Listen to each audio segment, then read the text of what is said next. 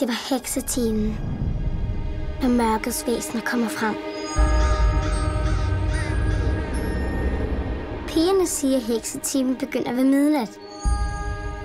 Jeg mener, den begynder klokken 3 om natten. Når jeg er den eneste, der stadig er vågen. Som nu.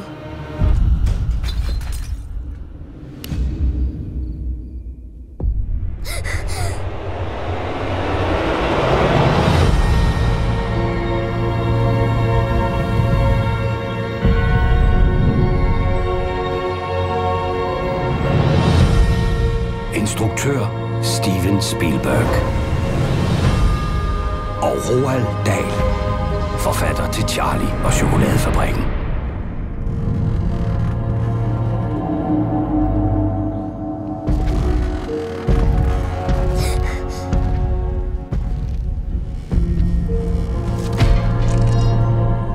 Hvor er jeg?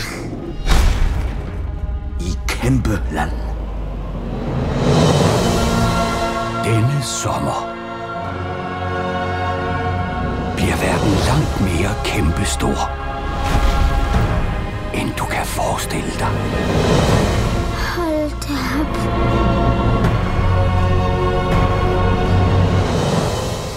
Hvorfor tog du mig? For det at jeg hørte dit ensomme hjerte.